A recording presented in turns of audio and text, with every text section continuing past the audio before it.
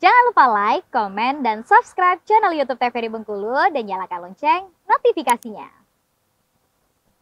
Ya, saudara diduga lakukan asusila terhadap anak selama bertahun-tahun. Dua pelaku yang merupakan ayah tiri korban berhasil diringkus Satreskrim Polres Kaur. Tidak tanggung-tanggung, akibat dari perbuatannya kedua pelaku terancam hukuman 20 tahun penjara.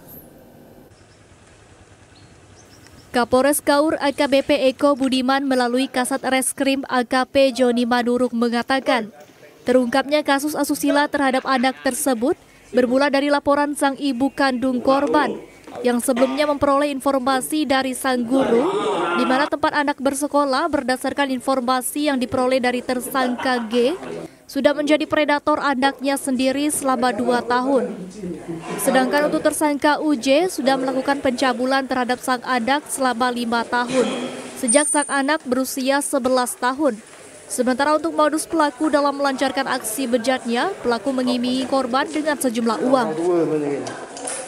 Mengamankan dua orang pelaku.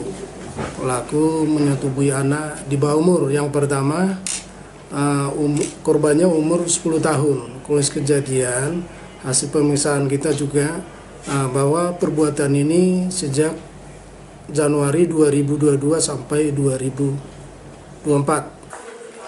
Akibat dari perbuatannya, kedua tersangka terancam kurungan penjara selama 20 tahun penjara yang diduga telah melanggar pasal 81 dan pasal 82 Undang-Undang RI nomor 17 tahun 2016 tentang perlindungan anak dan perempuan.